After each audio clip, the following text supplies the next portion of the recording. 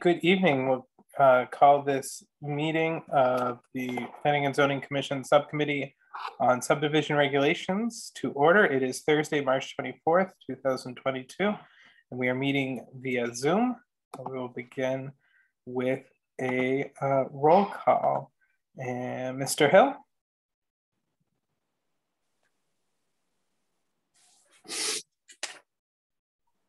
Can I sit there? Can I sit there? I, I saw Alvin come off mute and then go back on mute, but I believe he tried to say present.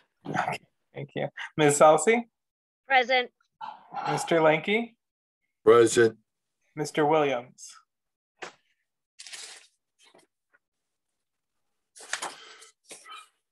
Ray's on mute. I think he's at, Yeah, at he's his, yeah, he's, he's definitely here and I think he might be at his sportsman's club meeting. So he might be keeping himself on mute for the background noise. Gotcha. Uh, great. So we will move on uh, to item two, discussion of proposed revisions to subdivision regulations. All righty, bringing it up on the screen, and I would like to point out that I do in fact now have a mouse. Thank, thank you, Brian Santos. Okay, Is that the uh, one, that the one he caught out in the woods? yes, yes, it's a very smart mouse. All right, so Article four, Section four, Stormwater Management and Low Impact Development. I was able today to feather in um, what Marla sent because I had to carry over carry it over from her attachment into this. Uh, just to be clear, this is just the comments that she sent on this section that I was able to add in. Her other two emails were too extensive uh, for me to have time to do that today and also didn't relate directly to this content that we're reviewing. So when we go into the um, sort of the final round review with um, the discussion guide that I'll create, all of those comments will be included in there, e- especially the stuff that she was talking about related to ordinances that was super complex. So I want to be sure I understand exactly what she's saying anyway before we go on. So we will start here. Um, and again, just as a general comment before we start, because the stormwater management, low impact development, uh, and in the subsequent section, erosion and sediment control are really directly in Marla's wheelhouse. I'm highly inclined to take her comments sort of at face value, but we'll, we'll still go through and discuss and see if anybody's got any questions or thinks that something needs more clarification. Uh, okay, so let's see. Extensive changes in this section. All right, uh, this is an earlier comment, not one from today. Uh, Marla recommending that this section be reviewed by a professional engineer. Uh, it has been reviewed by Janet. Janet is employed by, well, Janet's firm is employed by the town to handle stuff on the MS4 permit, which this directly relates to. So that request has essentially already been met. But doesn't, doesn't Janet, I mean, she said no vested interest in the outcome. Uh, Janet's under the town, so I would like to see somebody that has no connection with the town review this. Well, I mean, she is in the employ of the town to review this very topic. So I, I think that what Marla's referring to is somebody who wouldn't, per, per, uh, like we get, we get stuff sent to us by all kinds of engineers, right? And they may have an agenda in recommending or not recommending a certain measure. Uh, Well, somebody that's not vested, that has no connection with the town. That's what I take as not vested interest in the outcome. So somebody that has nothing to do with the town would be better for my thinking. Uh, the option we would have might be to send it to NECCOG. They are super slow. Like we could be sitting on this for years. No, don't, I. It's just a thought. It's just my Yeah. thought. No vested interest and NECCOG also has a vested interest. So I prefer to take what Marla says with no vested interest. That means nobody that has anything to do with the town or the state possibly. Uh, okay, I'll, I will add it here as a possible option.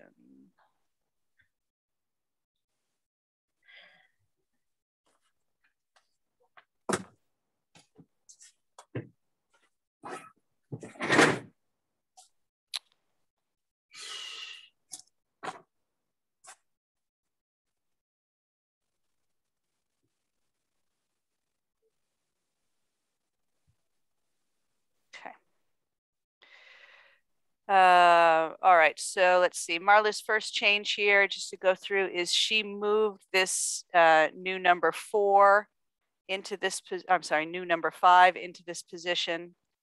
Um, this is under section intent. So I'll just read them through briefly. Intent, this section is intended to minimize pollution from non-point source runoff, to mitigate impacts to the hydrologic system from development, Three, reduce or prevent flooding, stream channel erosion, and or other negative impacts created by stormwater runoff. Four, promote the application of low impact development LID strategies. And then this new number five, to meet the requirements of Thompson's registration for coverage under CT DEEP's general permit for the discharge of stormwater from small municipal separate storm sewer systems. That is the MS4.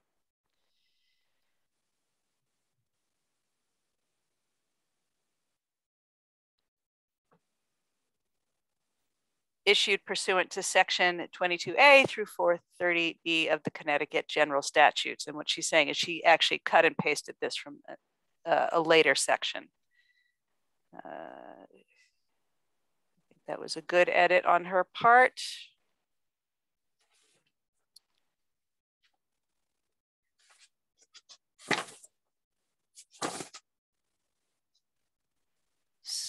So moving on to stormwater management requirements, she has suggested edits to number one.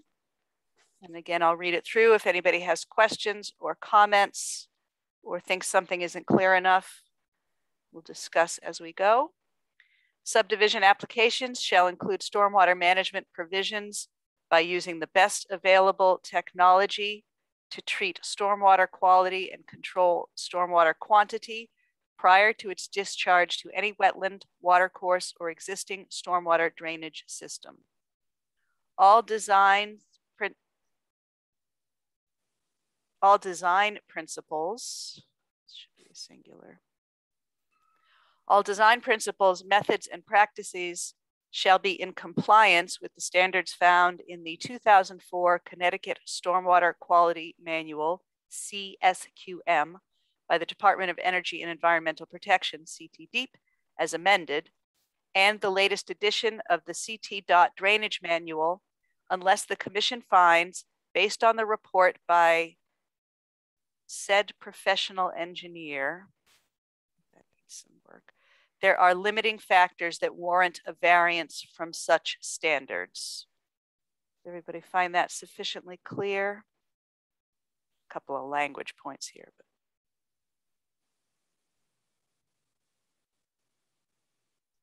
what what would be a variance um, from that standard? Well, I don't know, and I don't think there is a specific variance um, that anybody would have in mind. My my assumption here is that um, Marla, in her professional experience, has seen occasions when a variance has been sought and also warranted. Um, and it might maybe one of those things like we you can't foresee all circumstances, right? There's always going to be something that physically is novel, right, on a given site that may preclude one of these standards being followed. So I think that's just safety valve language if I were to hazard a guess. Uh, I did see Dan Malo is in on the call. He's our conservation agent and is also a wetlands agent for um, Windsor Locks. Dan, do you have any insights there?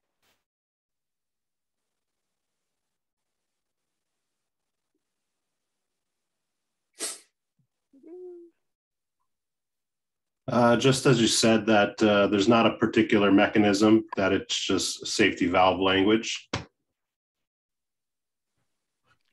The only other thing I'm noticing is that she has here based on the report by said professional engineer, but I don't believe a professional engineer is referenced in the rest of this text. So this I think needs a little adjustment.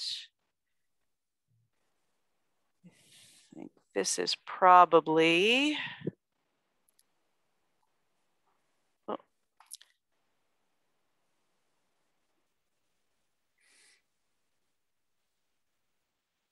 you are adding that verbiage, aren't you?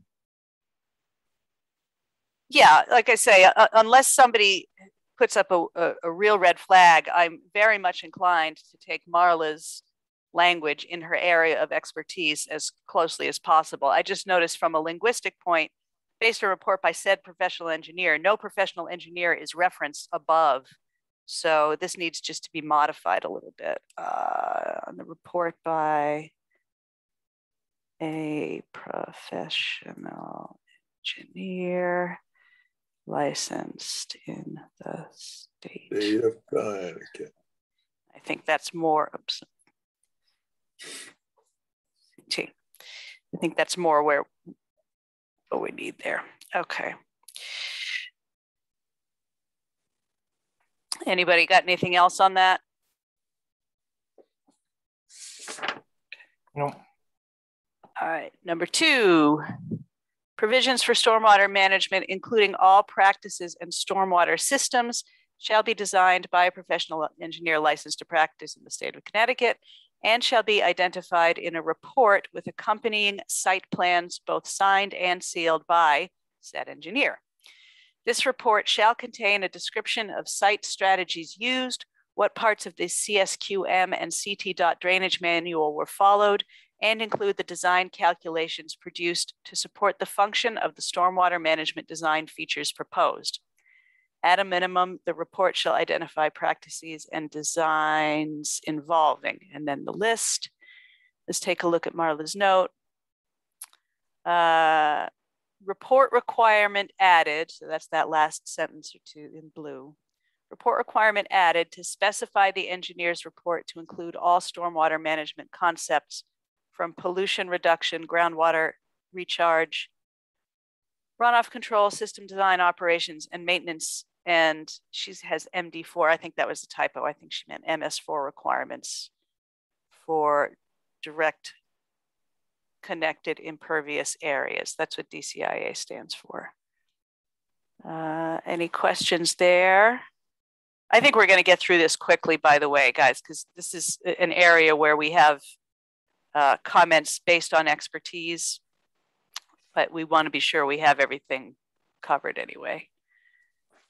Uh, all right, everybody seems okay. These pink comments are earlier ones. Let's just take a quick look. Because a lot of the earlier comments were language or outlining. Yeah, oh, she, the pink one is about outlining. Yeah. Uh, she did add um, peak flow control of the two year frequency, uh, the two year recurring storm events, essentially, is that that's what that number two refers to. I feel like we had taken that out when we originally did this. She added it back in and she cites um, the CSQM and a specific section. That being the case, I'm inclined to let it stand. I don't think mm-hmm. we took it out for any particularly strong reason other than perhaps convention. And that may have been based on feedback from a couple of engineers, but uh, if it's consistent with a controlling document, I think it should probably stay in there. What do you guys think? Yeah, no, I agree. What was that again, Kara? So if you look at this letter C um, for the items that the, the required report should include, it says peak flow control uh, as per CSQM section 7.6 of the 2, 10, 25, and 100 year frequency storm events. Previously, that started with the 10 year uh, in the in the draft before Marla's comments, I should say and as currently actually also in our zoning regulations based on the review from 2020. Marla is suggesting we add back in the two-year frequency storm events. Um, and that is to make it consistent with the controlling document that she is citing, uh, the CSQM, which is what Connecticut Storm Water Quality Management uh, document. Correct. Yeah but there has been just um, I was on uh, I was watching the news the other day, just and and, and it, it really caught it, it caught my interest and it piqued it too. Is uh, one of the um, so-called engineers, and I'm talking global. He was saying that what used to what was the hundred-year storm is now being considered a 50 year. So all of this stuff is going to be changing. So this is something that we might have to think about going forward because they're really doing some study on it. And I paid attention to it because it was, it, like I said, it caught my interest when I heard the 100 year storms or whatever are now, they're calculating it is now going to be 50 years. So that's a big drop. You know, that's a good 50% drop. So it's something that we might need to put in the back of our mind going forward. Yeah, it, it definitely is volatile information. I mean, we, we're looking at the revised or the proposed revised FEMA flood maps. Oh, uh, yeah. Oh, yeah. Right They're- now, and, and they are different. I mean, they, they're Compared, to- and it, and it all goes back to, uh, they should have left the, the whole city underwater, uh, instead of trying to salvage it, but it, it's, it's, it all has to do with what's been going on in the Gulf. Yeah, you know, with New Orleans and all of those coastal cities and everything down there. And, and it's reaching, as it was, the person was saying is, is that everything is now encroaching more inland than they ever expected it. That's, you know, that, that's beginning to be a little scary. Yeah, well, we're already, I mean, this is a little tangential. We are already seeing uh, impacts, like I say, in the revised flood maps. The um, Yep, the flood levels are higher. I mean, never mind the Gulf Coast here in Connecticut. Uh, Yep. You know, a couple few feet here and there in certain areas, but um, uh, you know, it, it, it's definitely not something that stays stable over over time. Yep. All right, uh, what do we got? cool. Let's see. And here in letter F, and again, these are items under that report. Uh, let's just look at it quickly. The retention of the water quality volume for the site as defined in the CSQM for new development and redevelopment of sites that are currently developed with a directly connected impervious area, that's DCIA, of less than 40%. She just recommends spelling out uh, what the acronym stands for in the first instance. That is a typical convention. And she also, you'll notice here, she's uh, recommended deleting these items here. Um, but strictly speaking, that's actually because she has moved them to other places in the section. So this information is still required. It's just either already referred to or will be referred to later. Sure. Any questions on any of that?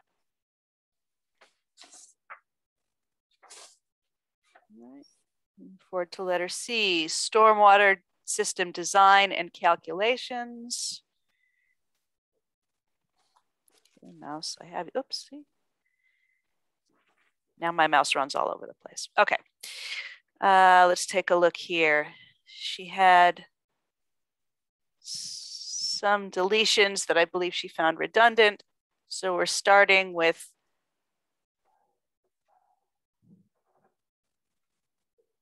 Computations and design criteria shall be in accordance with the latest edition of the CTDOT Drainage Manual.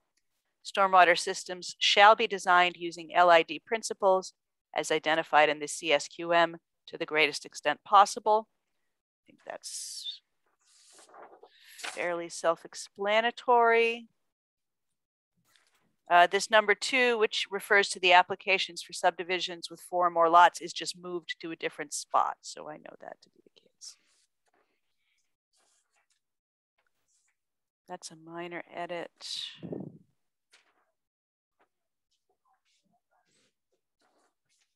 These are also minor edits, just adding citation documents.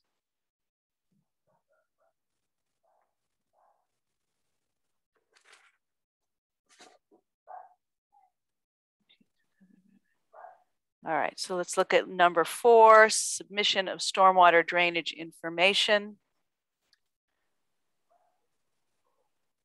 Again, she had some outlining commentary, but she's actually provided those edits and I carried them over, so we should be good with the outlining stuff right now. Uh, the engineer's report shall include the following specific information. And she again has made a couple of suggestions, uh, mostly condensing.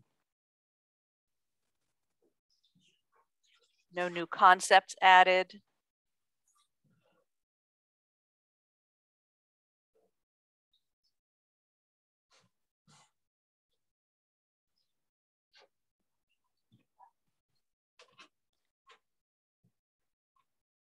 Okay. Let's look at this new number 11 or newly numbered 11 drainage to offsite properties. We've got some changes in the text here. A, no increase in stormwater peak flows or volume of runoff from 2, 10, 25, and 100 year storms shall be allowed unless it can be demonstrated there will be no downstream damage, or deleterious effects. The following items shall be investigated in determining whether increased peak flows or runoff volumes are compatible with the overall downstream drainage system. And then these are unchanged, but we may as well look at them. The timing of peak flows from sub watersheds, the increased duration of high flow rates, the adequacy of downstream drainage features, the distance downstream that the peak discharges are increased. Seems fairly straightforward. Does anybody have any questions there?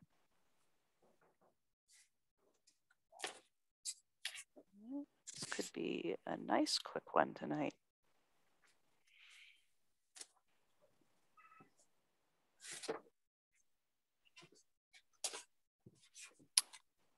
I want to look at this older comment here. So I'm not sure what this is exactly related to. Let's see. Stormwater detention structures. And this is an, a first round comment from Marla. Recommend that when a detention structure is to be owned by the town, that it be limited to surficial structures and subsurface structures prohibited. Underground detention structures can be expected to have increased maintenance costs to the town caused by specialized equipment needed for cleaning or repair. Some underground detention structures are considered to be confined spaces under OSHA, requiring special breathing apparatus and special training for working in a confined space. Uh, my follow-up note was that I would run it by J&D. I do not have any comment back from them um, John B, as a longtime construction guy, is this uh, is this pinging any bells for you? Uh, I mean, I find Marla's logic compelling. Um, anybody have any thoughts there? You're, you're, you're on what, the detention structures? Yeah, yeah. So, and she's making a comment just on this very first sentence stormwater detention structures, surface or subsurface, shall be designed as an integral part of the stormwater treatment system, as well as limiting peak discharge from the storm drainage system of the developed area where such discharge would adversely affect receiving streams and or storm systems. So Marla's suggestion there is essentially that we don't even permit subsurface detention structures uh, for the reasons in, in her comment that they um, that they have increased maintenance costs, that in some cases OSHA considers them confined spaces. Uh, I, I, guess my question for you from a, from a construction point of view is, is it feasible to indicate that subsurface detention structures are not permitted? Are there occasions in your experience in construction where you have seen them as the only possible option or something along those lines? Uh, yes, uh, the, the it, it, it, it comes down to what if something if if let's say a subdivision is being built um, up on an incline, you know, like like like a hill. You know, you go up, you yep. you and you're going up. You build the road, you go up the hill. Your greatest increase of uh, stormwater runoff is, is, you know, the size of the pipe coming down, because you're gonna need to keep it as controlled, but a lot of times they find instead of putting in pipe, drainage pipe, which would, could be twenty-four inch to 36 36 inches in the ground, is, is, so it would contain it in that, but it, over time, it could build up enough sediment where it could get blocked or, you know, uh, cr- like create its own dam. With the, with it as an open uh, surface, what they do, what I have done and worked on sites is, is they, they dig trench it, they'll dig a trench and they fill it with riprap, you know, different sizes depending on what they feel would be to help keep slow the water, uh, the flow of water. hmm The key is to control the flow of water. So when they put in detention, we call them detention ponds. So when they build this canal, they build this thing out of stone. They'll build one. What it does, it it'll it'll catch it. It'll hold back so much water. Then you have what they call like a dam on on one end. So when it gets up to a certain point, it overflows and hits the next level. Sometimes you they might put in three detention ponds by the time it hits the bottom or whatever. So you're slowing the process down because you know what happens when water starts running and you got nothing to slow it down. It Right. just takes. That's what detention ponds were designed for or detention structures. Uh, like I said, I built many of them in, in different areas in Massachusetts on, on sites where they were using the land with, you know, uh, built, put the road in and they went up a little hill, you know, what they call a hill to put houses up and everything. And the biggest problem is the people. Uh, well, I'll use an example. Green Acres. If they if they decided if they built a detention, some type of a detention on Green Acres, there would have been less problems in the beginning because you still got the wetlands area down below on the right hand side and across the street where it Right, leads in- so the, the detention Correct. pond piece I, I get completely, but But- that, ac- according to this, is a surface detention structure. it- What correct. Marla's referring to is a subsurface, meaning something that is enclosed beneath the that's the surface. pi- that would be your pipes but now that you have they have to know what the flow of water would be if you want to put subsurface in that would be meaning pipe and then you would have to have certain bulkheads in certain areas you know where the water would come in hit it'll create it's like a baffle system. Comes in and hits it on the comes this way it diverts it to the right then it diverts it to the left. You have different gates okay? But the problem with that is that sometimes if you get a lot of debris, it it can block it because it, it can't flow through. Where an a open surface above, they find that you can go in with a little grapple type of machine, you know, that to grab stuff and pull it out and keep on going. You you got a better control of it. You can pull the the, the, the debris or material out. Where a subsurface, they they can be very um, uh, they can be structured you know they can back up over time because you need to So go are, in, you, are you agreeing, John, that subsurface detention areas should not be permitted? Subsurface should be should not be permitted? Yes, that's All- what Marla's contention is.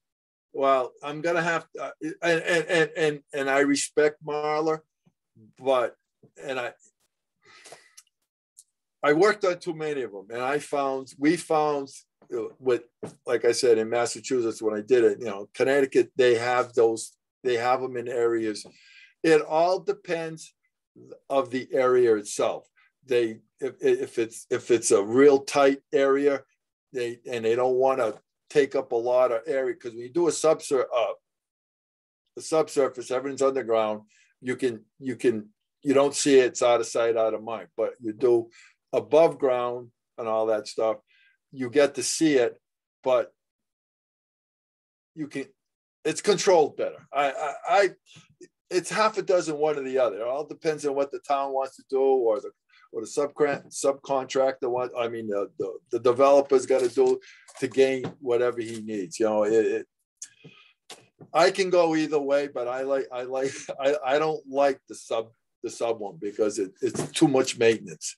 It can be more maintenance than a above ground, in my opinion. But that's Yep, my. Okay, well, that, yeah, that's what I was trying to get at there. Uh, uh, It's the Yeah, you have to go underground to, if, if you put one that's underground, then you're going into, like you said earlier, you know, you need, uh, uh, scuba gear to clean them out.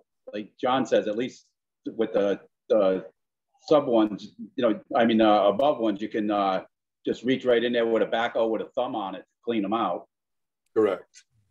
Yeah, I, I, I guess the, the question is just fundamentally simpler, which is, do we believe that it is feasible to say that stormwater detention structures, that we're just not even going to allow the subsurface ones because of the higher maintenance burden? Uh, now, I think from, I think from what John was just saying, that although he agrees that they're higher maintenance, that they may still sometimes be necessary. Uh, It- and if it- that's the, if that's the case, then we have to leave it as is. That, that's my question. I mean, I agree with what John said. But my question is, is there a, a situation where there's no other alternative to put them under? Well, that's what I mean. It, it, it, it depends on the location or what the location is. Okay.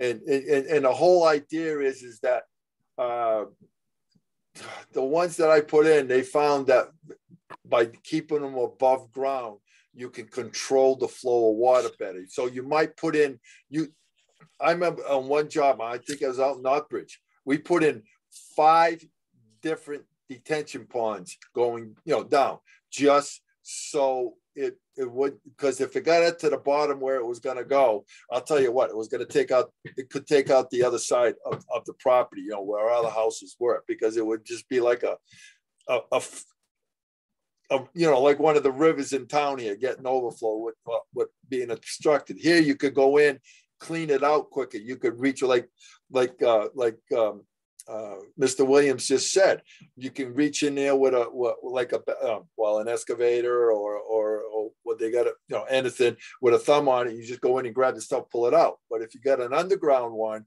at some point, there can be some, there can be blockage, especially if they put those um, box culverts in and they have to have those baffle systems. Now, it depends on how the baffle systems are separated, you know, are they gonna be six feet apart? Seven feet, uh, is this thing gonna be twenty feet long? Because you need length to create, to, to help slow the water down.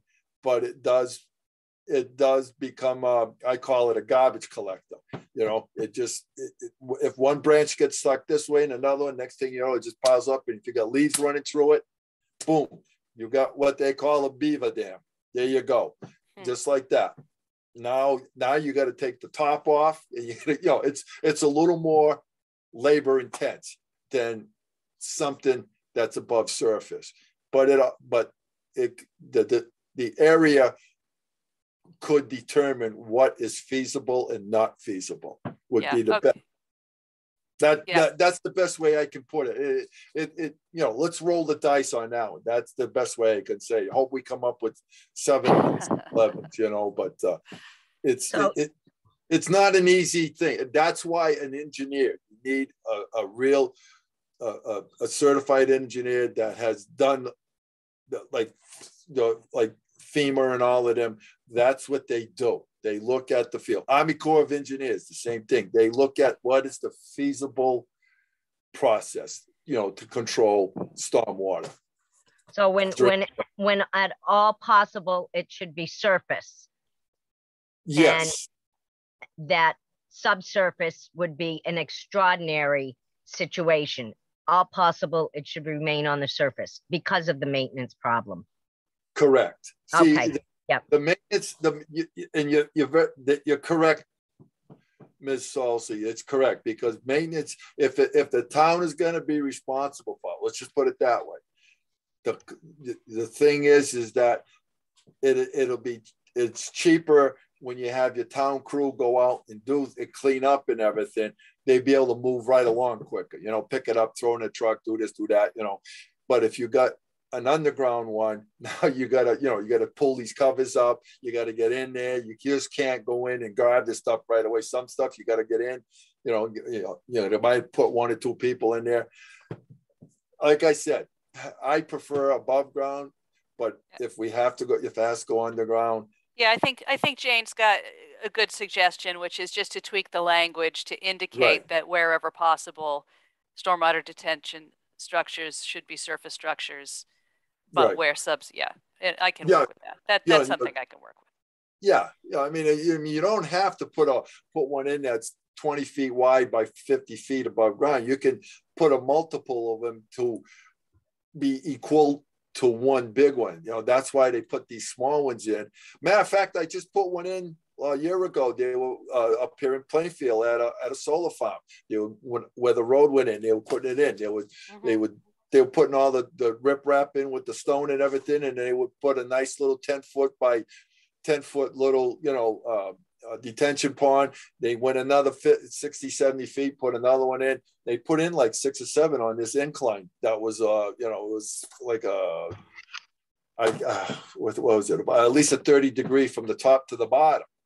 All I was doing is just to slow the water down. So when it hit the bottom and hit the brook and everything, so, you know, it wouldn't wash out, you know, make the brick, one part of the brook bigger, you know what I mean? It'd take it right out. But that's all it- it's, in- it- it's intended for is to slow the process of the water, Yep, yep. the flow of water. I'm sorry. All right, I'm trying to look at some of these comments and they relate to text that I think was taken out in the pri- in um, the prior iteration, so I don't have it for comparison. Uh, all right, let's look at this design procedure. Uh, who's got the the book with the existing subdivision regulations with I them? do, Tira. Okay, so let's look at where design procedure is in there. What page you on there, um, Mr. Chair? Um, well, that's the, I'm, um. Let's see. This is the, Design this, procedure, I got it, it's a thirty-nine, 39 39. in the existing book. yeah. Yep. So I'd like to figure out what these comments are specifically related to. This one here. Oh, in fact, this is on maintenance roads.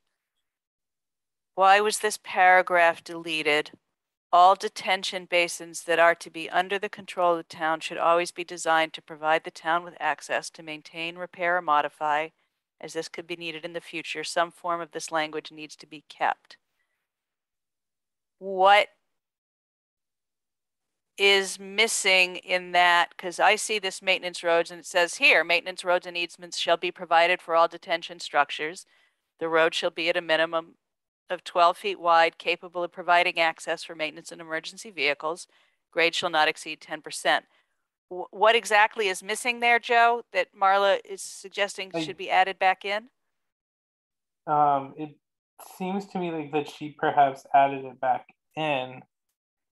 Cause that is the language of the existing. Interesting. Yeah, that's So- what you. just So that must, what- okay, so that just must have been the first pass. And there it is. Okay, so that, we can clear that comment. Uh, Okay, Here on that uh, maintenance road, 12 Yeah. feet, Yeah, uh, it should be 15 or 16, not, not 12 feet. actually, Alvin's correct. Twelve feet is not very wide. You can't even get two cars on a twelve foot, uh, twelve feet. Side by side.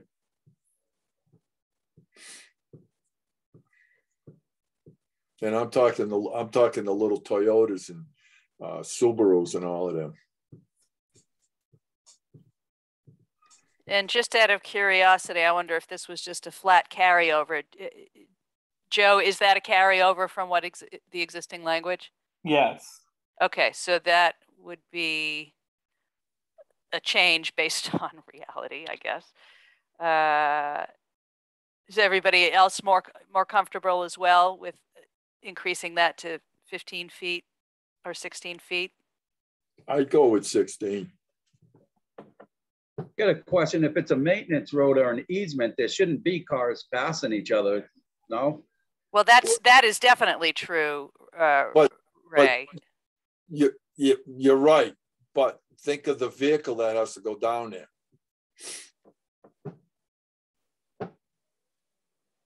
Maintenance road to have overhanging limbs besides. Mhm.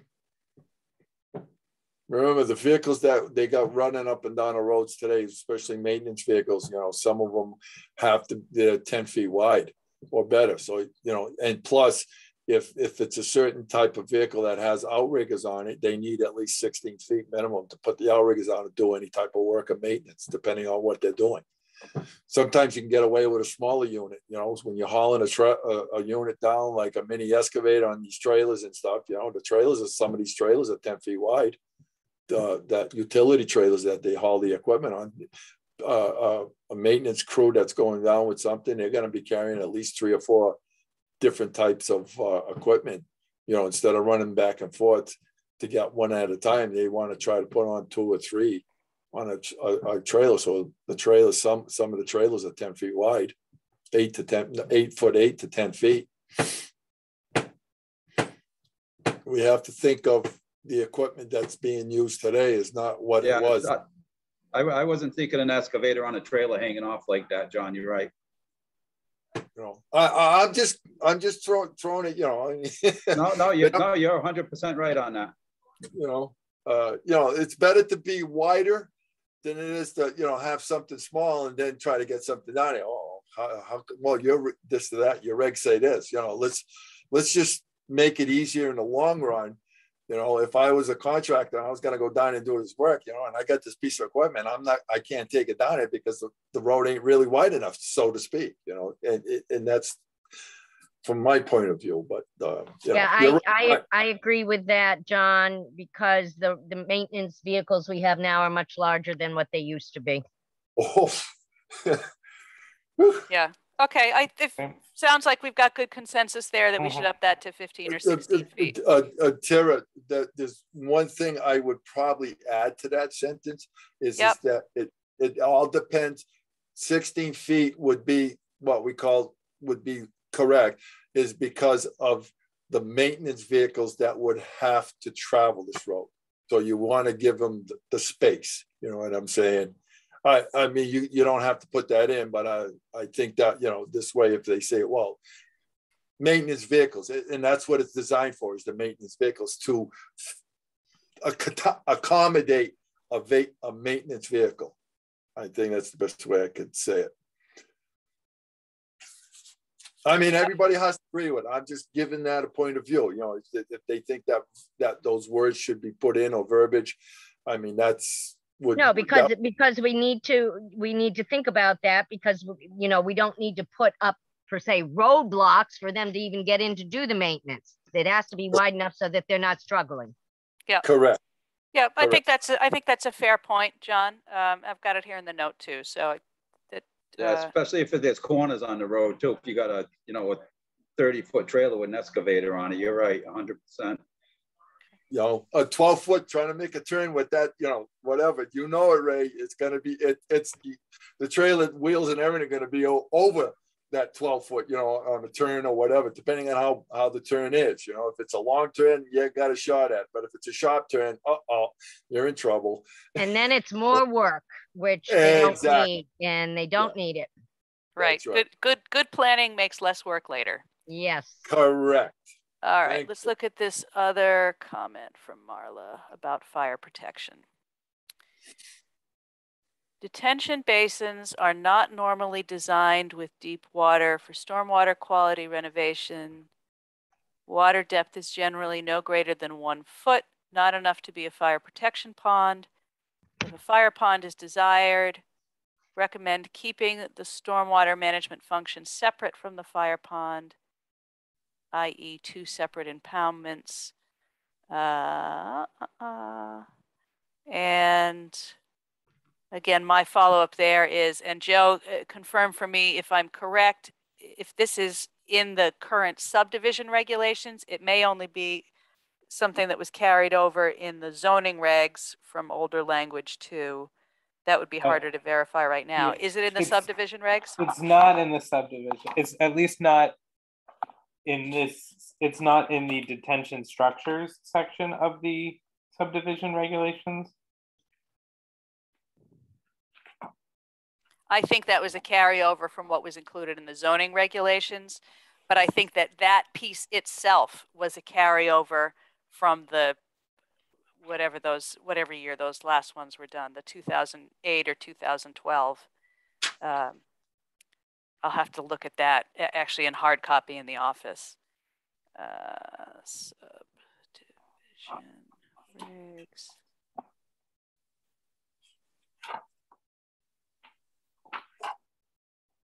I mean, I just wonder if that's obsolete.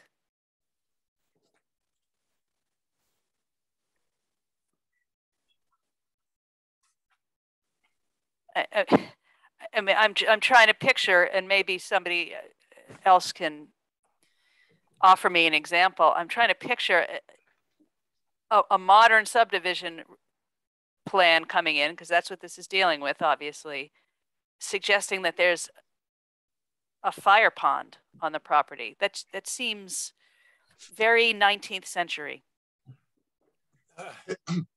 Uh, back in the day, okay, they used to have these fire ponds. Actually, if you were to drive down uh, a lot of your towns in Connecticut, Mass, and Rhode Island, there are certain areas where there was a pond that was a well, it originally was a brook that used to be, and they kind of like dammed it up to create a, a, a, a, pond and you would see those pipes that were sticking out you know with like a you know with the thing and where they could hook the thing up and pump out of that pond to you know to feed a fire or, or run a truck down if the fire was here. They do have those still around. Are they used like they you they used to? No because your trucks today that the fire trucks they got today they can carry up to 2000 gallons of water and you know and and if you've got fire hydrants all over the place now everything is fire hydrants where it's all in the ground the fire ponds actually have become obsolete one because of when you stop pumping out of those fire ponds if they haven't been maintained or dredged over the years the where the pipe is at the bottom is, is sucking mud in or you yeah. know uh, there so they found that that was hurting the trucks because once it got in the truck and then the truck had to pump this water out down at the bottom of the tank after it settled, they had to go in and clean it. And sometimes it screwed up the pump in the truck. So now you're talking big maintenance cost to replace that tank or the pump. So that's why the fire ponds, in all reality, are pretty much non-existent. Okay. Yeah, this this seems to me, like I said, very 19th century or you know yes. early 20th century uh, at best. Uh, I, I am feeling like this is obsolete. Uh, um, go ahead, Alvin. In Woodstock, there were several. Several of them. But they're not new. They're old, right? They they wouldn't have been installed in anything new. No, I haven't seen a, a fire pond built I I remember as a kid, you know, I I mean Woodstock on one night on 193, uh 190, uh yeah, 197 going into Woodstock right there on the right hand side. Uh, uh, just before uh what's what's the name? There's a fire point. They pulled the pipe out. Uh, I'm gonna say I think they pulled the pipe. I if I don't see I haven't seen it 10 years, but that that's what they found was over time that when they needed water, they were going to it. Back in the day, it was good but over the years, and I'm talking, we're talking 20, 30, 40 years, Alvin, you know, he, he's been around as long as I have.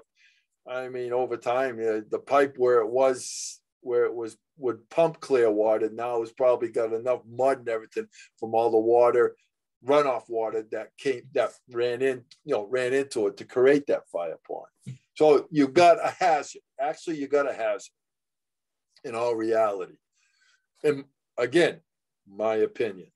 Yeah. Okay, I'll give you an example, quick example. I remember uh, uh, uh, Green Acres, okay, uh, Walker's Pond, which is right across from where Jane lives on the lower end, the, the, the pond in the back behind um, Healy's and everything.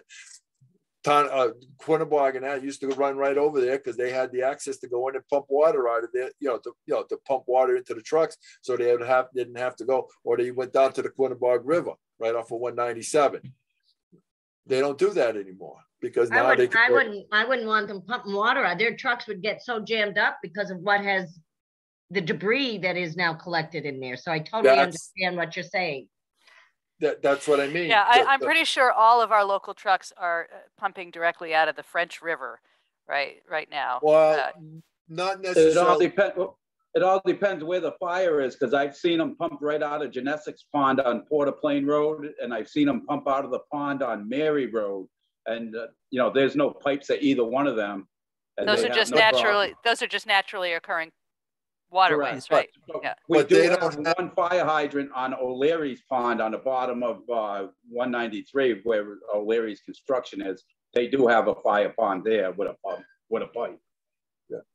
But is it, you know, But the fire the- department, the fire departments can pump right out of a pond that, you know, they don't need, um, with the trucks they have, they do not need, you know, to have a pipe to pump out of. Right. Well, yeah, because the- because of the because of the uh, the hoses and everything they got are now special design that they don't have to go down uh, down ten feet. They can they can pump five feet from the surface and they're getting good clean. You know, you're you're within five feet of the surface water.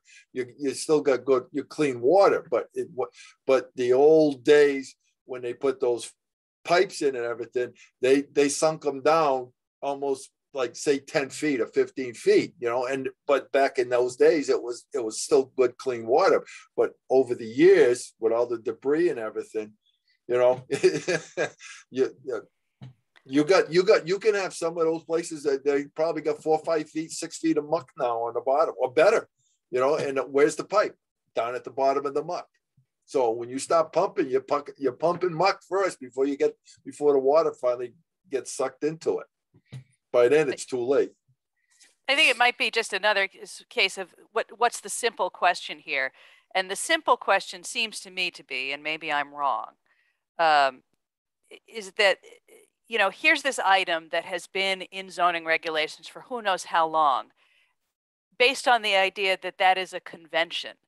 If there is no reasonable expectation that there will be a fire pond included in a subdivision plan, is this necessary? We can all agree that they exist. We know that they exist. There are examples people can cite, but I, I, I'm, I'm just, I'm, I'm only stuck on it because it just seems so obsolete and unnecessary. And I would love it if somebody could say to me with certainty, oh no, you would absolutely want to have a fire pond in these circumstances, in which case I would say, oh yes, let's absolutely keep it in. But to me, this just seems like keeping an antique in the book, okay but I could be wrong. you got a very valid point there, Tara. But now I'm going to throw this at you. If you know who in their right mind, I'm looking at it as a developer. Okay, why would I want to uh, um, put in a fire pond? Okay, who's going to maintain it? Who's going to take care of it? I the agree. homeowner.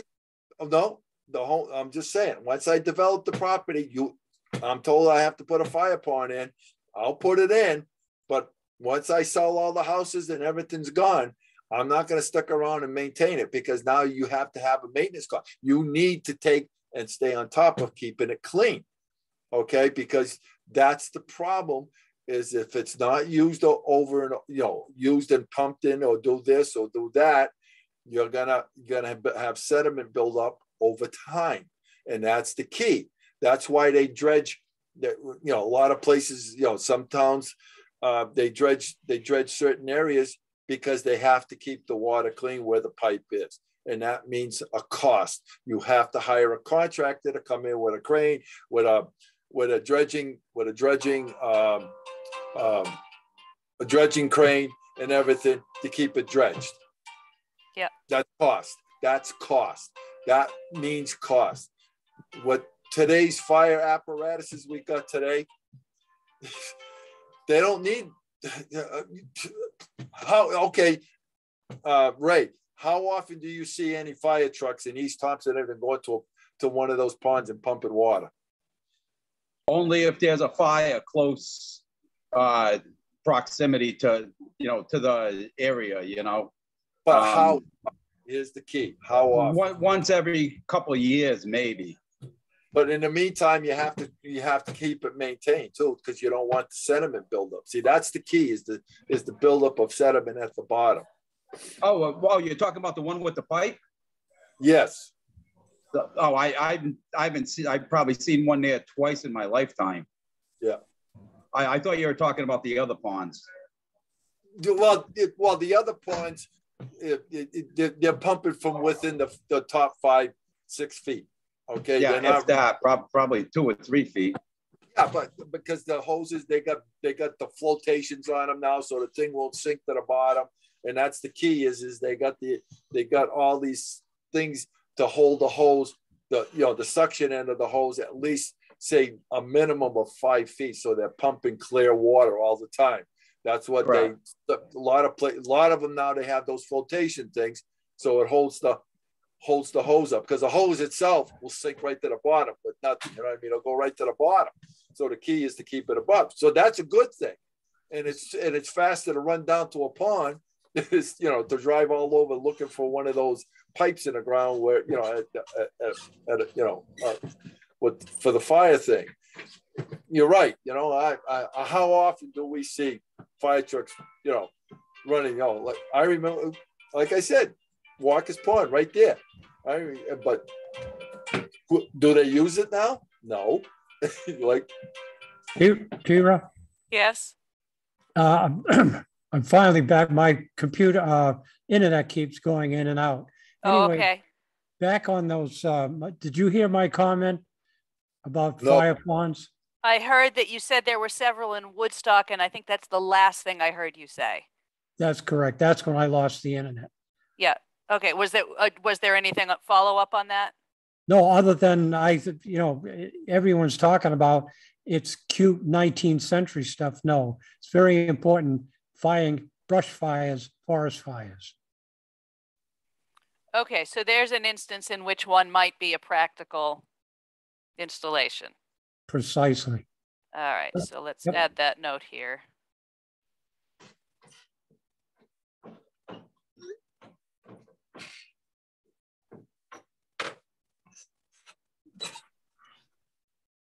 I believe they do have their purpose, but like, you know, without the pipes that pull up all the sludge. Because uh, Alvin's correct, a brush fire, uh, anything that catches, they are very good to have around.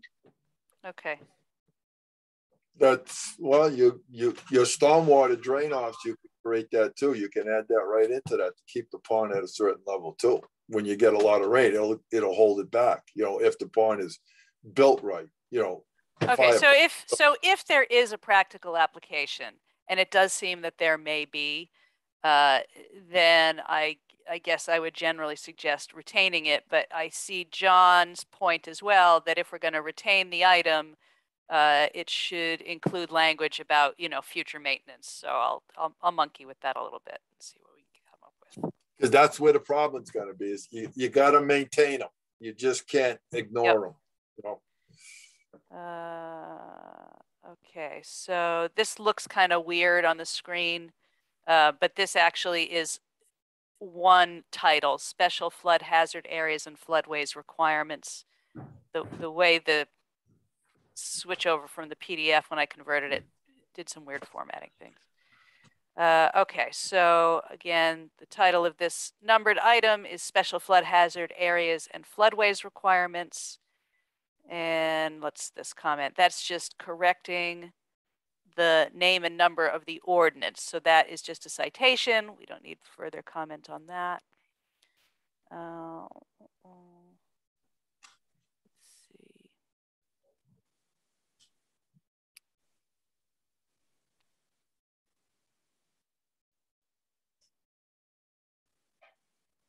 let's just read through this quickly.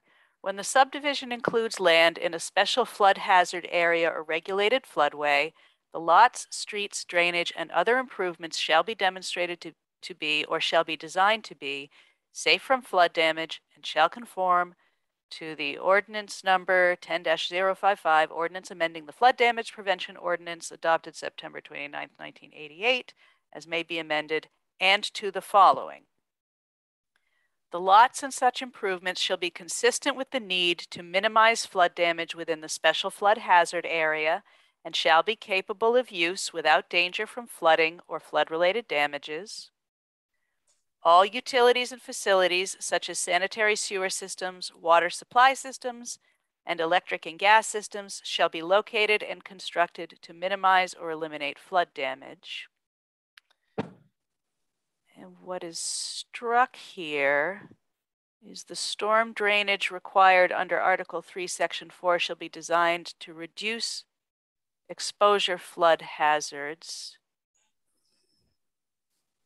And Marla deleted that because the requirement is implicit in implicit in the standards. Okay, uh, fair enough. And streets shall be of such elevation or shall be suitably protected so as to allow reasonable emergency access during flood conditions. Okay, I think that's all pretty straightforward. I don't think there's anything really to discuss there. Um, that's a simple language add.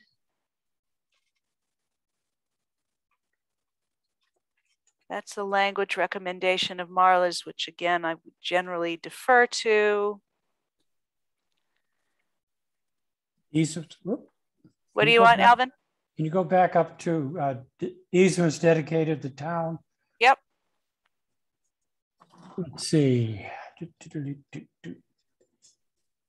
Where it says 20 foot wide centered on the pipe. No, it should be, uh, it should be 20 foot wide centered on the installed pipe.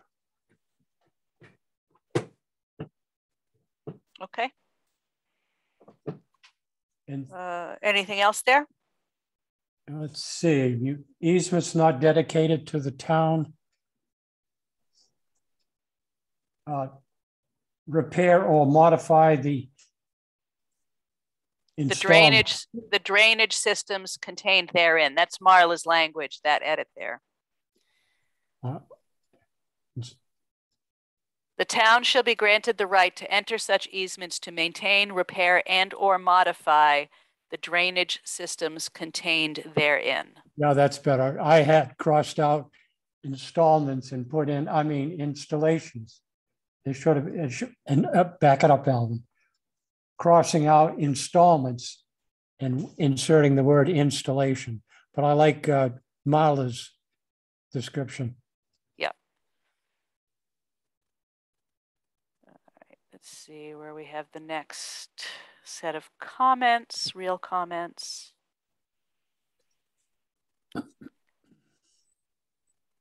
All right, and Marla did make a bunch of changes in the low impact development section, but it- a lot of it was just reordering stuff. Uh, this letter A, for example, was just uh, cut and pasted back into the intent section for the whole um, section four, uh, so that by the time you get down to low impact development, this is what that intent refers to. Uh. And uh, again, cut from earlier in the section, but now added here is the applications for subdivisions with four or more lots or for subdivisions proposing one or more shared driveways shall submit the LID checklist found in appendix. And I just haven't uh, named the appendix yet. I don't know what, what letter number it's going to have. Uh, with the application, LID shall be incorporated to the extent practicable in all subdivisions. Uh, I do note that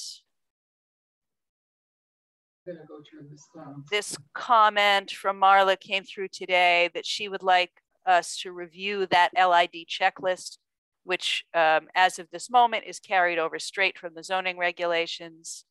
Uh, I'll read her comment in full.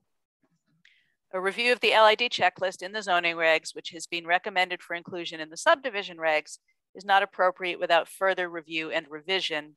Examples, zoning LID checklist, item nine states vegetated swales have been installed, and item 12 states rainwater harvesting methods such as rain barrels or cisterns have been installed. Such language is not appropriate for a design checklist. Consider removing the requirement for a checklist as the engineer's report referenced in subsection B2 requires a description of site strategies used and what parts of the CSQM were followed. Rather, it would be better to have an appendix with an application checklist that includes a listing of potential LID BMPs provided for in the design. Um, I have a question, uh, Kiva. Yep. Applications for, for, for subdivisions, how about if I have three? So I can ignore this whole thing? that is theoretically the case. Uh, there, we do use either the, the three or four uh, lot subdivision threshold as the trigger for a couple of things throughout the document. Some of those I think are by statute. Um, this Well, one I think is more by open, definition- Uh, Subdivision by definition is three lots or more. Oh, right, you are correct, sir. You are correct.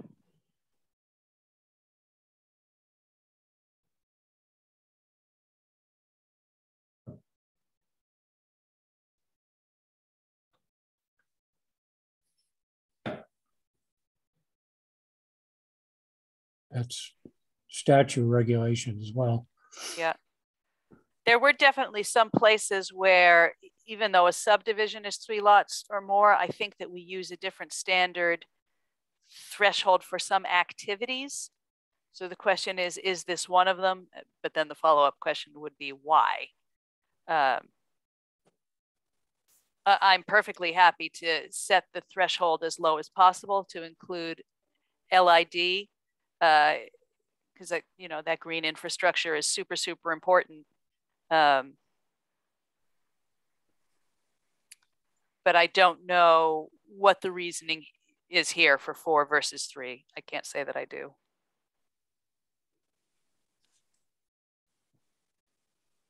Now how about marla's larger point which is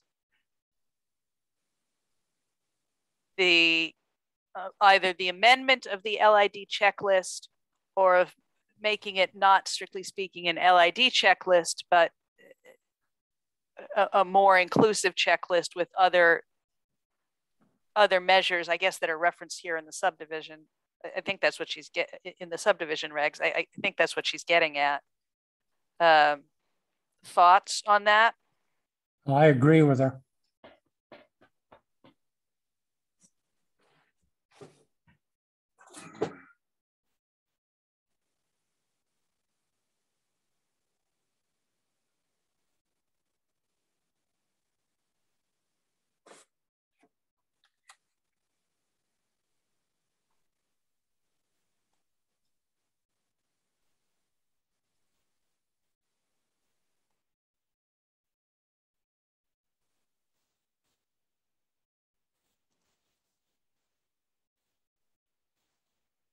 I, I think there is a logic to that for sure.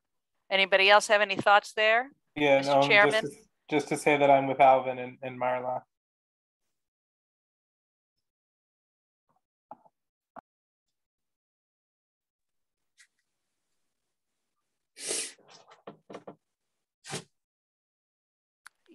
yeah, I can't, it, it shouldn't be too difficult for me to create a checklist based on these report requirements once the report requirements are finalized. I, it's just a matter of essentially making a list with checkboxes, right? Checklist. Uh, okay, continuing on.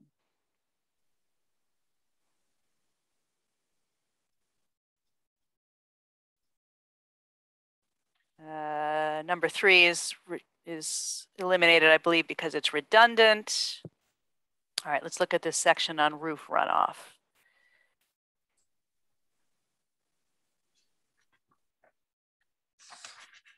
Oh, those comments are all just the outlining and the outlining. I, I think I corrected it this afternoon anyway when I went through this. Um, but we'll state again, just for the record, uh, there are inconsistencies in the outlining in the document because of sometimes what happens when I do the cut and paste or the conversion from PDF before this is finally published. I will review the entire outline top to bottom to make sure it's consistent. Looking forward to that. Okay, so that was stormwater uh, management and LID. Now we have an hour and we can go through soil erosion and sediment control. I think we're okay to do that. We do not have a new round of comments back from Marla on this, but we do have her original comments. And again, this is a section that we essentially already went over in the zoning regulations because this is not exactly cut and pasted. Uh, when we went through this in the first round, Janet did a modification to make it more appropriate for subdivision language. So I think we're okay to proceed. And then if Marla comes up with additional comments, we'll just put them into the discussion guide later. Um, you guys okay with that? At the time, we can always go back to it just to, you know, to, to tweak it a little bit if we have to. Okay. If that's what, if that's what you're trying to say. Yeah, let's dive in. And, and I'll tell you, Mhm. par- partly because I think that these are technical sections where we're relying on various forms of expertise, Marla's and Janet's in particular. Um, I think we're just verifying to ourselves that, that we're clear. If we get through these sections, then next week, when we talk about the uh, open space requirements for subdivision and conservation subdivisions, that's a huge topic and an important one. Um, and we can just fully devote the two hours to that. I would really like to be in that position next week. Uh, but- Yeah, that makes sense. But we're like, okay. let's go through this one. We got the time. It shouldn't take that long, like you said. But we can all, you know, whatever is comments are given to us by Marla and and and um, Janet, you know, we can always go back and review it. Should it won't shouldn't take us that long. Yep, yep. you know. Okay, so And- and- Joe, and- it- One more thing. Yeah. It, it, it wouldn't hurt to get one more opinion from some other uh, licensed engineer in the state.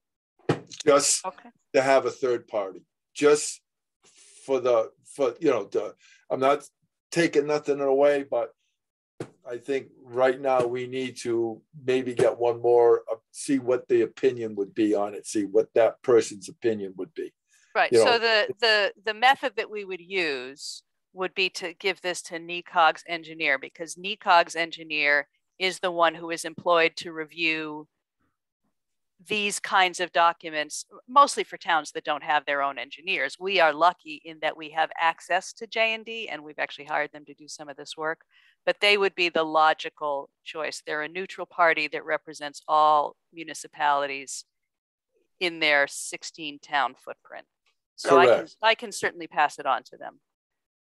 It, it, it, it, it wouldn't hurt, okay? Yep. This way we get, whatever feedback we can, we get back from them, it's something that we can take into consideration, not to take anything away from, from uh, Janet and Marla. Marla is right on top of her game, but it's just sometimes a third opinion can make a difference, you know what I mean? To, to, to Yep. get, so people can understand that at least we're doing our due diligence. Joe, uh, can you, in the existing book, turn to whatever the equivalent section is here? Because I, I'm looking at the sidebar comments and it looks like she is, she meaning Marla, uh, has inserted in the first round comments some questions as to why things were taken out. Yep, Um, I'm here. It's yeah. It, it follows right after the uh, uh, the section we were on. So Right, okay. Uh, it, it, that's more or less her first comment here, and that's just for the, the, the section in general. Uh, let us see. Right under intent, the provisions of this section are intended to prevent or minimize erosion and sedimentation by requiring the submission and certification of an erosion and sediment control plan, ENS plan. Ray's coming back in for any application for a zoning, per- oh yeah, that is a That's a good catch. Subdivision approval.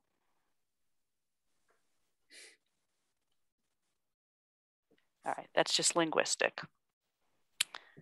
Uh, and this one is just a citation. We'll fix that. Okay, so let's, she's got a why was this removed? And let's see if we can figure out what was removed. What is in between these items, Joe, in the current book? The narrative describing the proposed project, the sequence and schedule for grading and construction activities, the design criteria, construction details, and then letter B, the map. What is she Yeah. commenting on? What was re- what was removed? So in the current, there are, um, after design criteria, there are three, um, three additional, so, um, the construction detail, so after the design criteria, the next subsection is uh, the construction details for proposed soil erosion and sediment control measures and storm water management facilities. The next one is the installation and or application procedures for proposed soil, soil erosion and sediment control measures and stormwater management facilities. Say it again. Installation and what? Application procedures.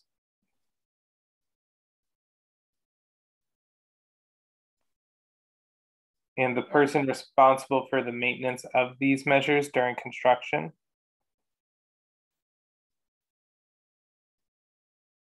That would, should be a, a, a- your uh, licensed engineer.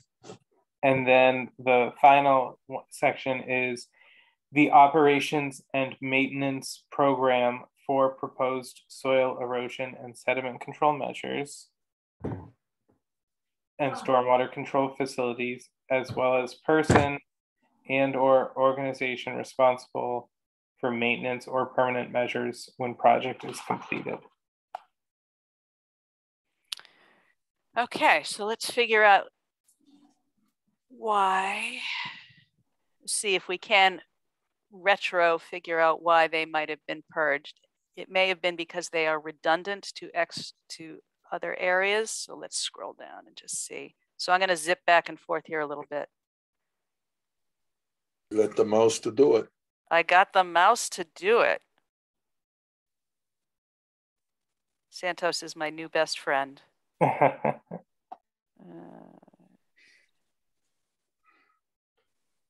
He was just cleaning out one of his drawers. he was. Well, the reason he's not on tonight is because his uh, company is moving their headquarters from Newton to Natick. So it may indeed be exactly that. This may be an extra mouse from his office. Uh, okay, so I don't see anything that looks redundant to those items. I'm going to leave a note here to myself review existing.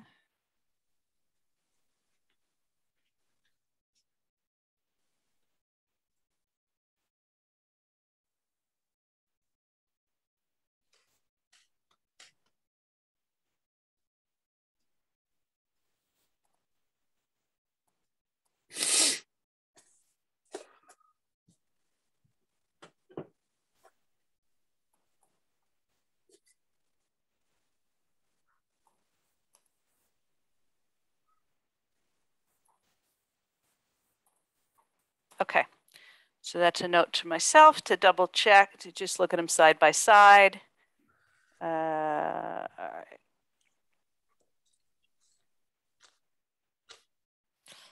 All right, here's a comment on the map. A map at the same scale as the site development plan.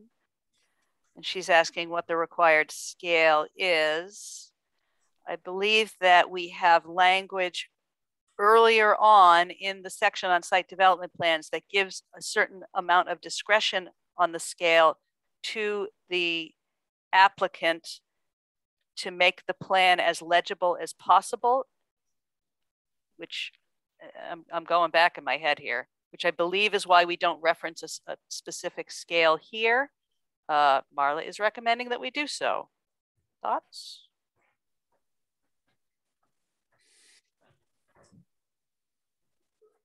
This might be a case, Joe, where it might be helpful for you to look back into the prior section again. Or into a prior section, since you've got In the the, in the current, well, no, because that doesn't really help because we, I know the current does refer to specific scales and we left that more open-ended based on the logic that certain plans are more legible at certain scales than others. right. I don't know. What do you guys think about this? I, I mean, I still find that logic compelling, but So here, so here's where the comparison to the current is one to 40 or at a scale acceptable to the commission. Which is a, I, I, I think what we, because I, I think you're correct, what we had said was, you know, make it legible. Um, I think that is clearer than the way it is currently. all right, so let's.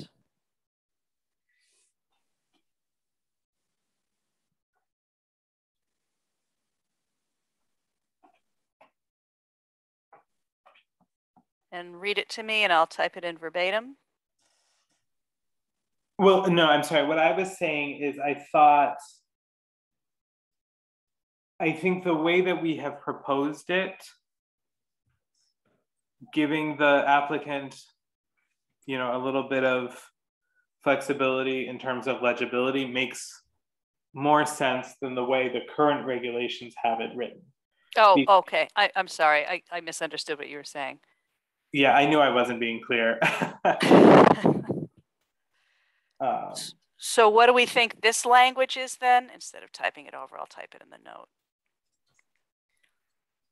Uh, alternate language. Only From could type. earlier in the, in the draft, earlier in the proposal. Uh,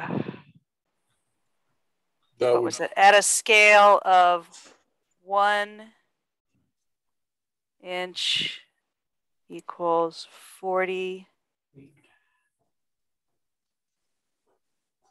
feet. Except I think that's backwards. Hold on. One inch equals forty feet. Or as is acceptable to the commission, is that what you said? Yeah, that how it that's how it is in the in our current regulations. What I'm suggesting is that I'm, I'm still misunderstanding you is what you're telling me. that's a, is that our proposal you know you had said and I think you're right that earlier in this proposed draft we had you know the, the scale is basically you know what makes sense for your property what's going to be legible for the commission to read All right, so I'm gonna change this note. And I think that makes a lot of sense. Should we talk to Martha, seeing, seeing that she is the soil scientist and see what she recommends for a scale? Well, she is recommending, uh, oh no, she's not specifically recommending. Um, She was- I mean, I can from ask the- her that. I, I think, you know, we should probably do that instead of just, you know, putting something there on, off the cuff and having somebody that, you know, works with that, with the soil erosion, you know? Well, the Well, state, yeah, I, I, I agree with you, um, Ray, but I, you know, I, I also, you know, as, as, as it's drafted now, right, I, the, is there a compelling reason to have, require a different scale for these maps than the site development plan maps? I guess is my question. that is a good question. Hey, Dan, Dan Malo, are you still on the call?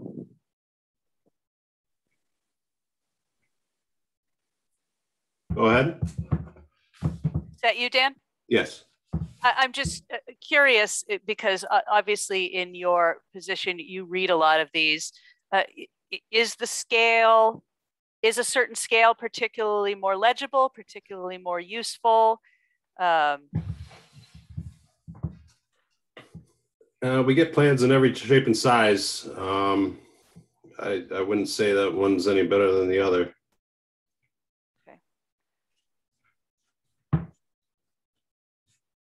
So what, uh, Dan, so you could, you, so you could use a scale one, one to 40, one to 20, one to 30, whatever suits, whatever. Yeah, So what, yes. what is much, uh, the better word I'm looking for, what is gonna be much, not much more, but applicable for the condition?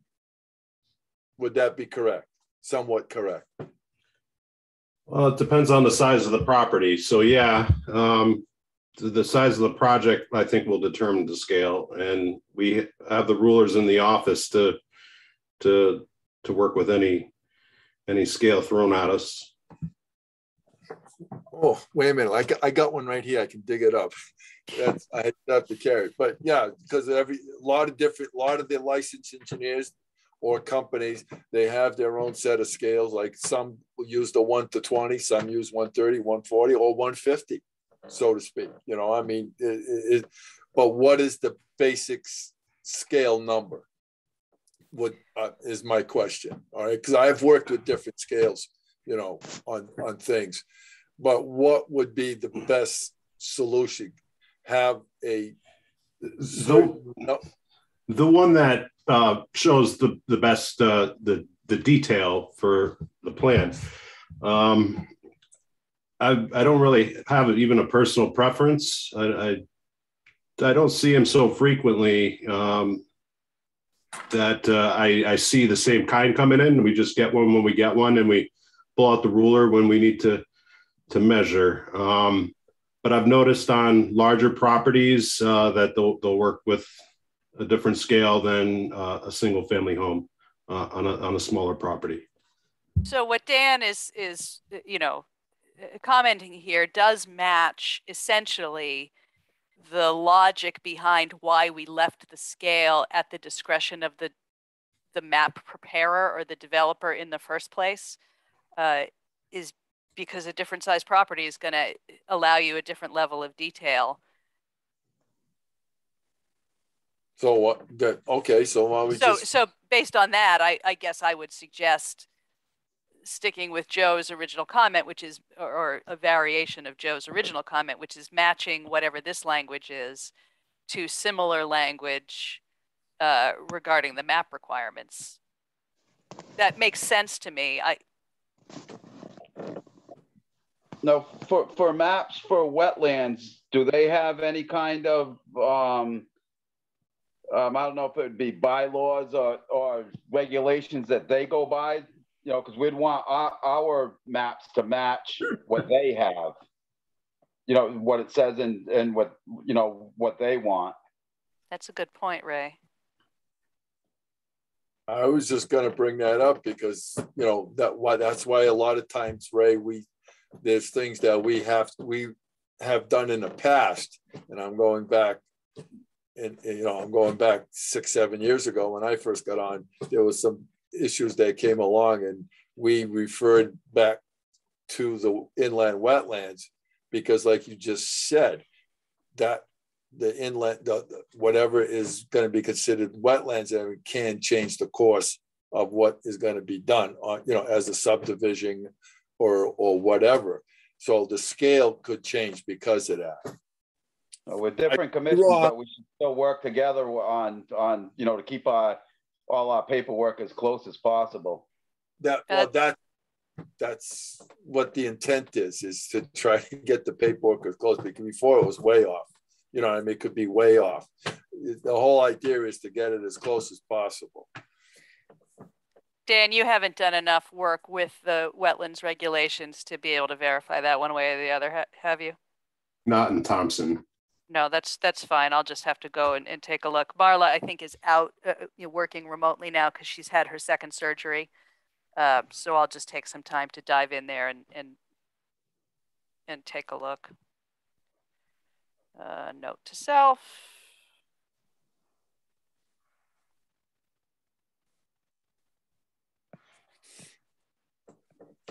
What is, what, what is, uh, uh, and and it's a question for Dan, if I may, is, is with your experience, uh, and you've worked in other towns as well, in the town you're in, is, is there that much of a variance in, you know, difference, so to speak, in, you know, in the, in the scale?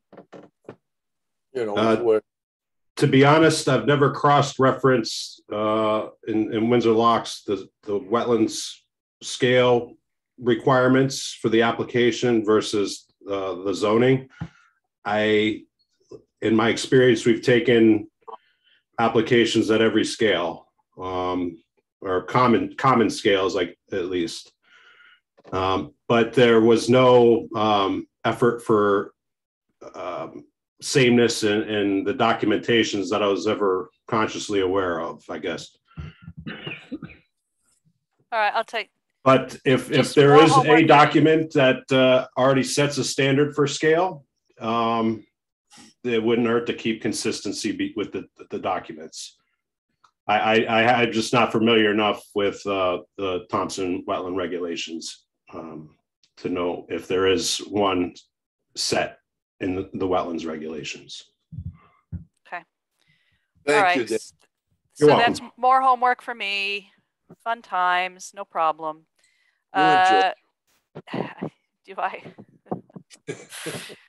Uh, okay, Joe, going back to the existing, because we have another why was this removed comment, and this is Mhm. uh, again under the map. Uh, so I'm guessing it's something between these bulleted items, the existing and proposed topography. That should be of. Topography of wetlands, watercourse is and water bodies and location and design details for all proposed soil erosion and sediment control measures. Is there something between those? Yeah, so we um we combined two. So that wetlands, watercourse, and water bodies, that's part of B, or part of the second um bullet, or 1st Mhm. bullet rather, sorry. Um are combined two. Um next is any existing structures on the project site. And proposed area alterations, including cleared, excavated, filled, or graded areas and proposed structures, utilities, roads, and new property lines. Hmm. That was a mouthful. So I'm just wondering what the answer is to Marla's question as to why they were removed. Keep because this information is important in determining the appropriate ENS controls to be used, particularly when subdivision lots may be developed at different times. Okay. So what are we, let's assume for a moment that we are accepting this logic. Oops, come on. There we go. What would be potentially added back in? Any existing structures on the project site?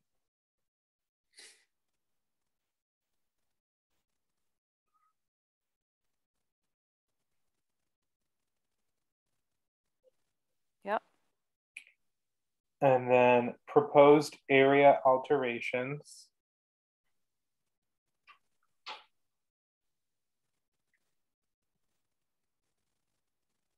Including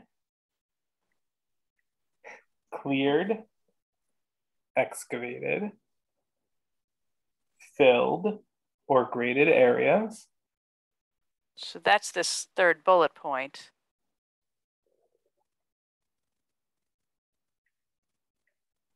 Ye- uh, yes, in a new way. Yes. So I don't think we need that because we were, we are saying it, we're just saying it in a slightly different way. Mhm. And was there anything else or was just that it? Um, proposed structures, utilities, roads, and new property lines. Proposed structures, utilities. Oh. And what else in property lines? I'm wondering if some of it got folded into three, which is not something that exists currently. All right, so let's take a look before we.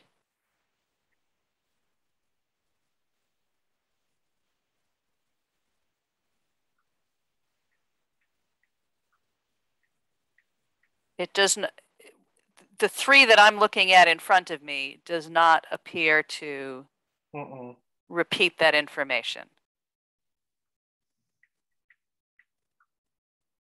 It's more about the standards for Mhm. the ENS measures themselves, as opposed to showing existing conditions. This stuff is existing conditions.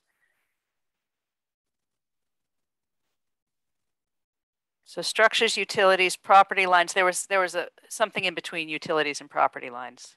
Roads. Roads. Roads, thank you.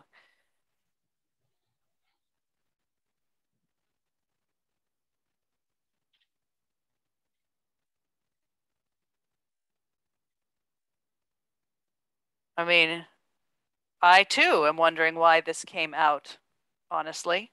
Oh, I know. It wasn't that it came out.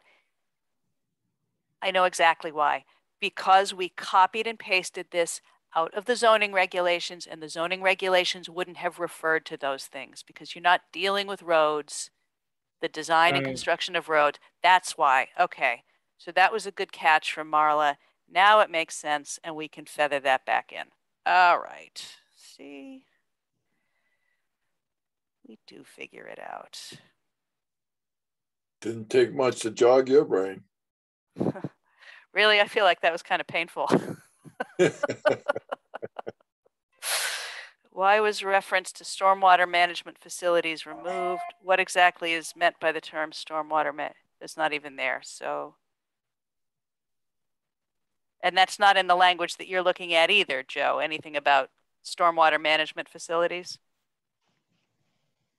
Um, yes, that is in the location. Yes, so in that location and design details, it currently includes and stormwater management facilities after sediment control measures.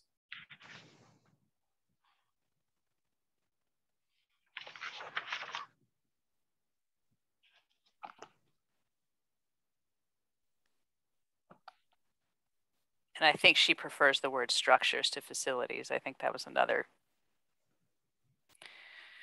comment that she made elsewhere. Okay. All right, I think we're closing in on this. I think this is a fairly short section. We have another why is this removed here? So let's see what this is in reference to. Under procedure, can you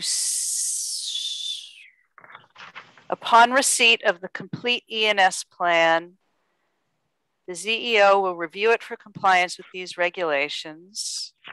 Doesn't seem like that's where the omission is. Is there something between, um,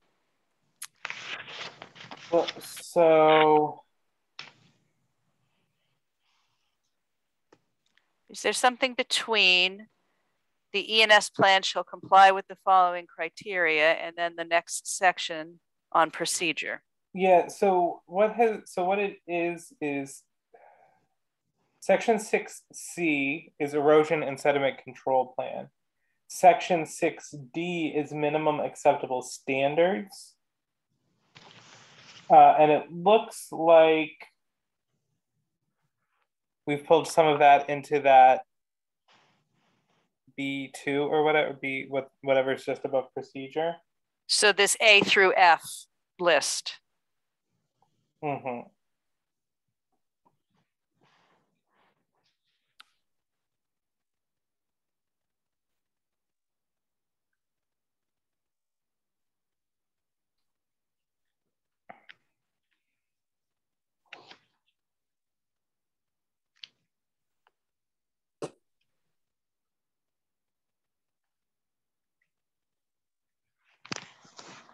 So I got to do another compare and contrast in the office. That's all.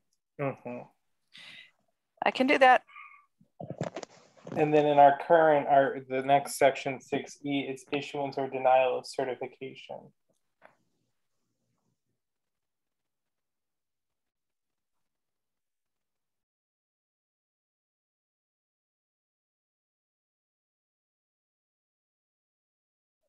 Say that again. I in between this section and what would then be procedure or late further down? We don't have a procedure section currently. Okay. So procedure is added here.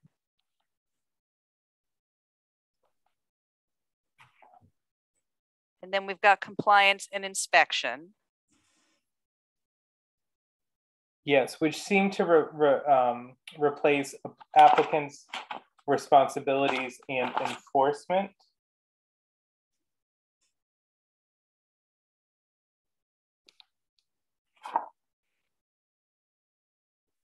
So D and E replace. So let's compare the language between D and applicant responsibilities. Under the suggested language for D, compliance, all erosion and sediment control measures indicated on the certified ENS plan shall be installed and maintained as scheduled.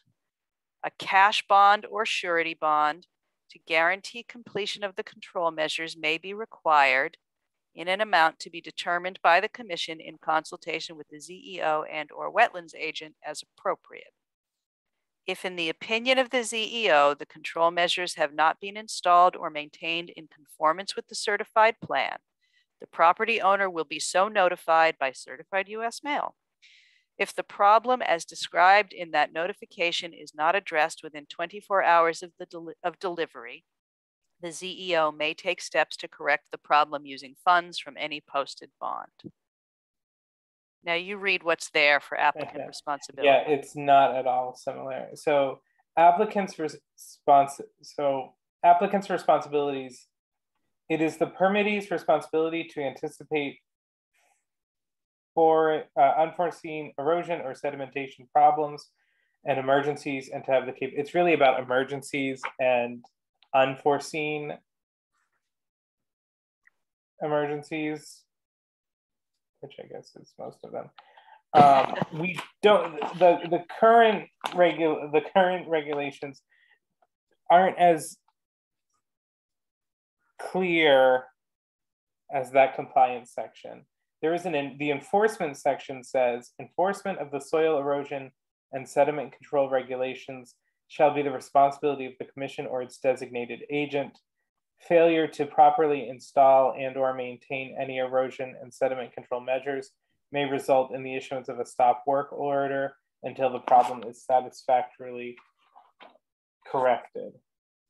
Okay, now just as you're reading those two, when you were saying that stuff about unforeseen emergencies, I immediately remembered that we did discuss that and everybody thought that that language was totally ridiculous that if you could anticipate something unforeseen it wouldn't be unforeseen first of all. Right. it would have been foreseen. And i think that is why we ended up with this d compliance section which is much simplified. As you are looking at it and you're the only one looking at that text um, does anything stand out to you as something that is missing and critical to this section.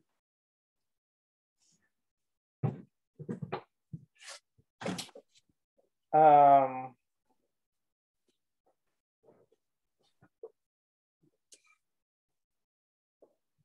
And I'm not talking about the enforcement, I'm just talking about the applicant responsibilities. right. Right. There is a bit about if, in the event of an unforeseen emergency in which adjacent properties, roadways, wetlands, or watercourses in the town of Thompson face imminent danger of pollution or obstruction from erosion and sedimentation, and the permittee or his designated agent cannot be contacted through reasonable effort, the commission shall, shall empower its agent to act to stem the threat of erosion and sedimentation. except to, except to the extent prohibited by applicable law, the expense for re- remedial action shall be recovered from the permittee. That to me seems in concept valuable, but I'm not sure. Rather, rather than me even trying to encapsulate that, can you tell me the um, article section, subsection there? Yeah, it is uh, section six, F six.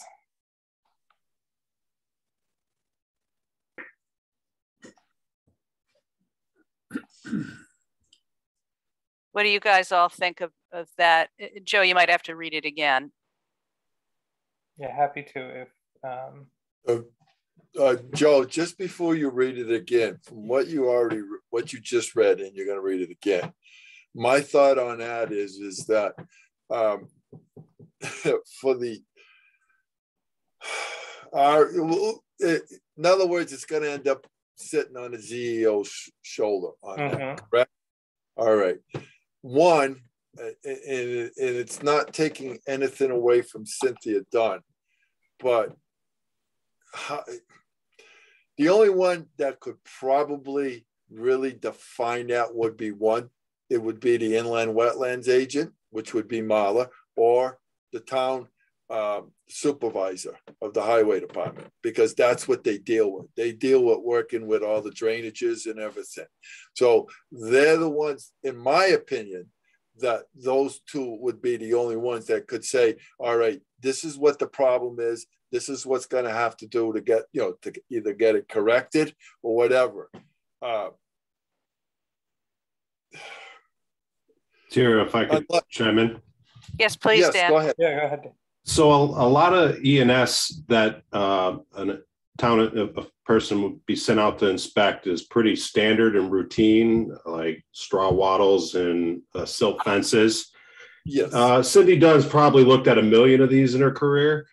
Um, they're they're just so common that and typical. Uh, it is also, though, my opinion that um, Public Works and wetlands should shoulder that in in the workload. Y- Yeah, it, it, because they're, the they're more of the governing uh, agency on that stuff. That's, they're supposed to know what is the correct fence, you know, how much fence, uh, silt fence, uh, you know, I mean, it- and, uh, you know, requiring hay bales, you know, you know, a lot of times they put the silt fence down with hay bales, which helps stop the erosion and everything. That's a lot of state jobs. Uh, they do that all the time in certain areas where there's wetlands and stuff, you know, when you're doing big construction and stuff like that. You know, it, thanks, Dan, because that's pretty much would be, you know, with, with, with three different points of view, you can at least have a better grasp on it, you know, of, of, of the situation. In my opinion, okay, from working this stuff. Okay. See, Vera? uh, Yeah. Yes, Alvin. Uh, I'm looking in the uh, zoning regulations under procedure C. Mm -hmm. Uh, Well, let me, what you've got underlined there. I'll start at the discretion of the ZEO. Yep. The, any plan submitted may also be reviewed by the Eastern Connecticut Conservation District and or the wetland agent for the town. ECCD and or the wetlands agent may propose additional control measures to be incorporated into the plan, Yep. which, which the commission may take into consideration. That agent may propose additional control measures or changes needed to comply with the intent. Right, and we've got that in this as well, because that is again, um, this was a, a, a copy paste, uh, which is why we discovered some discrepancies that should have been changed for subdivision. But that seems straight up um, and logical, except that Marla did make a, a suggestion, which I just typed in here. Uh, EC's, ECCD and or the wetlands agent may propose additional control measures or changes needed to comply with the intent of the ENS plan. That made sense to me to be Yeah. incorporated. Um, We're gonna have to make a lot of changes back to our zoning regs if, once all this is accepted. Well, there may be some areas where they should be different. Uh, Well, I'm reading the language in Article five B, Section three, erosion and sediment control. And mhm. it's very different than what we're talking about here in our present zoning regulations. So the zoning regulations, right, so this, this section was, um, when we were going through the first pass, um, Marla and Janet and I agreed that the, the logical thing to do would be to start with the copy paste, have J and D look at it, uh, and see what needed to be adjusted for, to make it appropriate for subdivision. So that is what this theoretically represents. So there may be some differences between the two.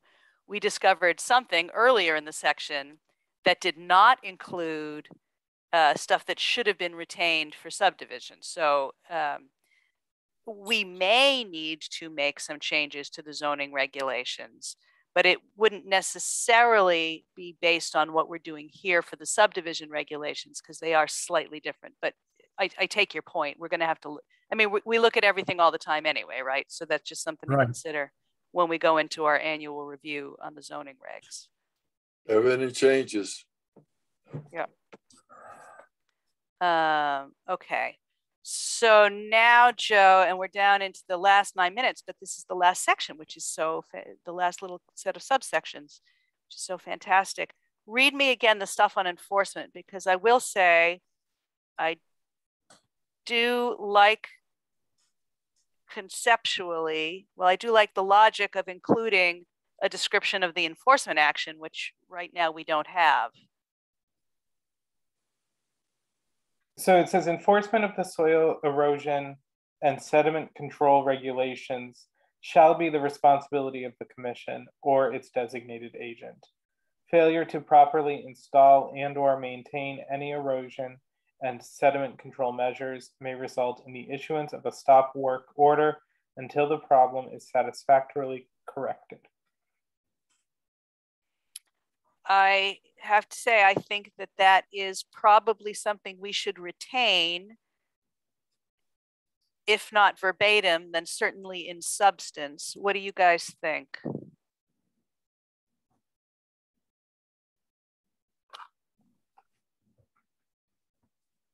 I hear Mhm. cri- I hear crickets. Yeah, no, I, I think you're right. I'm on the commission. And, it still comes down to, you know, whatever we decide as a commission and, you know, and, and give the authority to the ZEO to see if, make sure everything is in compliance of what is being, but I, I, I still, I still, I still, I still, I think inland wetlands in, in, in the municipality itself, the town, you know, the, the, the foreman or whatever, you know, because they're the ones that gotta go out and really kind of fix it if something, if we have the erosion problem, whatever, whatever occurs from it. But, yeah, it- that's a catch twenty-two for me. Sorry. Well, they're, they're all arms of the town. The question is who's the best equipped, I think, is, is what you're getting at. Yes, yeah. I mean, if, if we take in advice, what, what the inland wetlands agent says, and then also what the input would be from the, the, uh, the supervisor or director of the uh, town garage and stuff. Uh, cause they deal, he deals, that person deals with that all the time, okay? And, and it's, it's not to, keep it all in one in one house and or shift the load around but more eyes on it we can have a better handle of it. You know what i mean? Uh, you know to control it somewhat better. You know because now you got two other opinions and if the developer wants to start dancing with you on it you know uh, whoa wait a minute back up. You know this is this this is this and this is this. Okay. Yeah. Yeah, John, I, I I think do that's have a the- question on, you know, it, it, it says for the soil erosion, but it doesn't say if it's erosion on the road or if it's erosion on the property. Well, you're right, Ray, but, but having those other two other uh, entities involved, then, then we, ha- we can make a better, the, get a better handle and make a better decision. Or if it, if it's affecting the road, which is town, now it's got to get fixed, or, or the, you know, from the erosion of the property or vice versa. So, you know, there's that fa- there's that fine line in between. I'm, you know, I'm looking at it from the, as a construction type, you know, what the effect would be on, on both sides, from, on, from either side.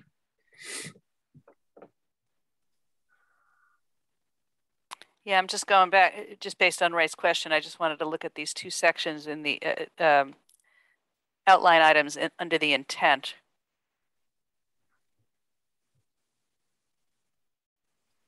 it, it, it it's a fine line you know for that reasoning you know i mean everybody's you know everybody can you know we should look at it from different perspectives you know alvin will come in with some he's he's probably got some good perspectives on it you know i'm just giving you from my side the, you know what it what it entails. But then you know i'm not saying i'm always right either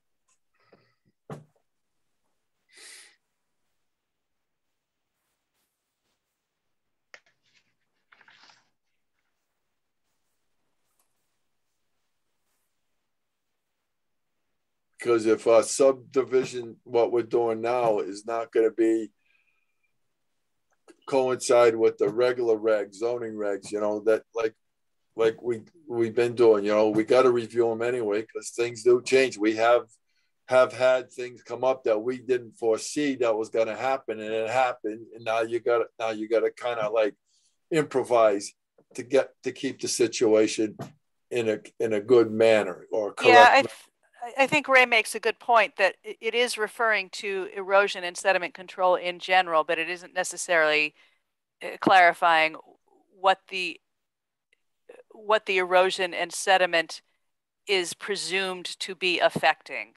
Um, Correct.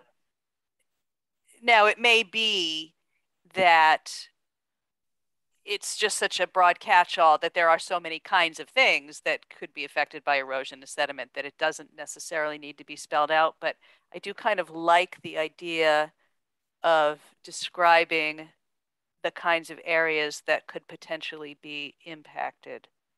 So let me take a look at that.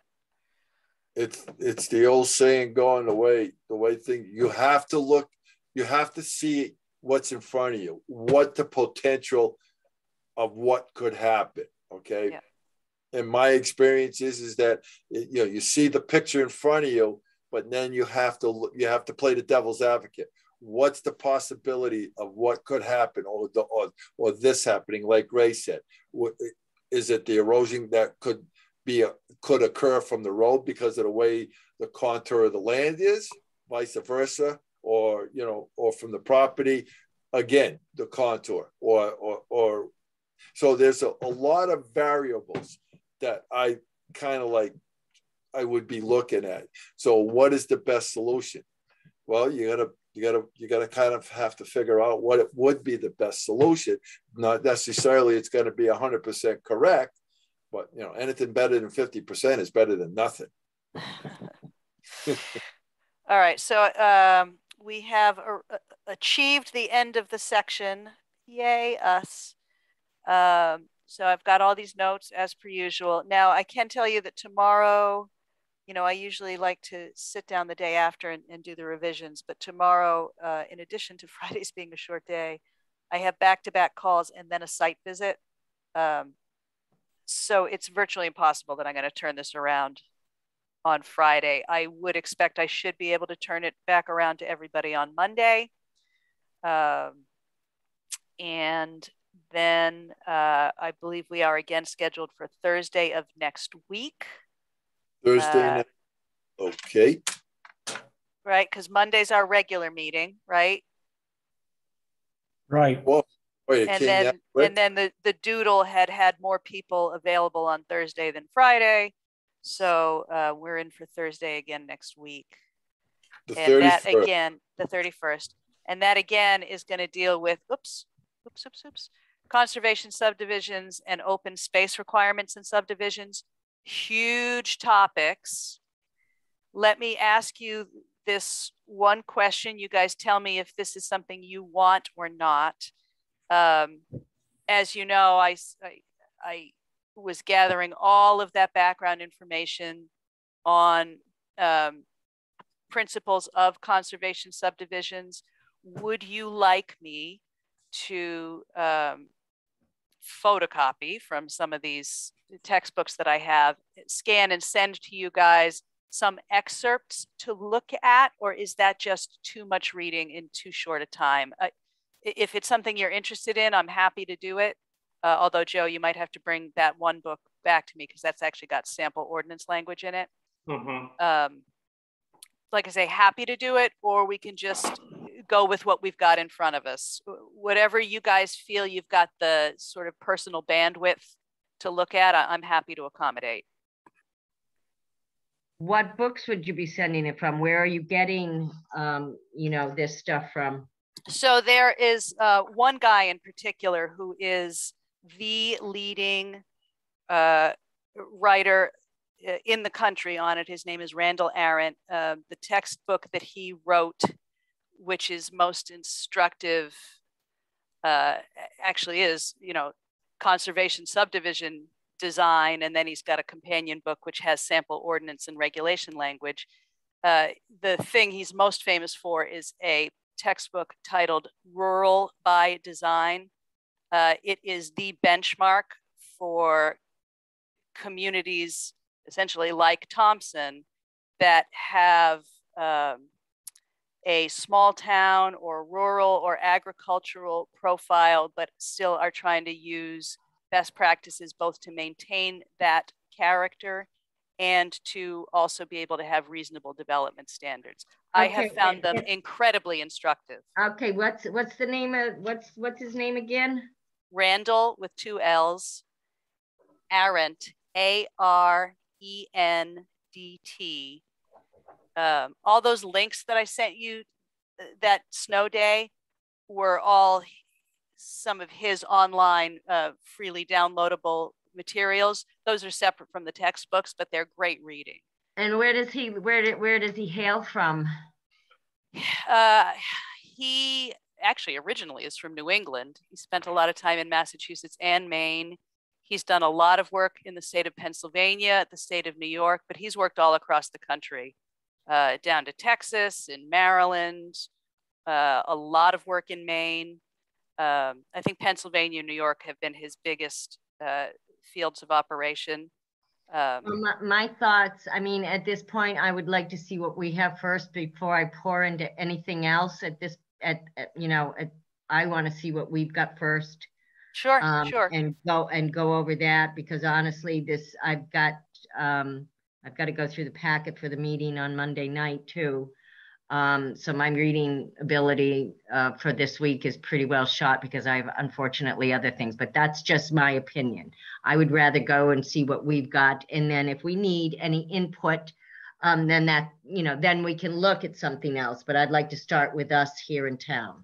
Yep, no problem at all. I just wanted to offer it out there for anybody who, you know, like me. Did you guys already get geeks your out on this packets for this week? I haven't yet.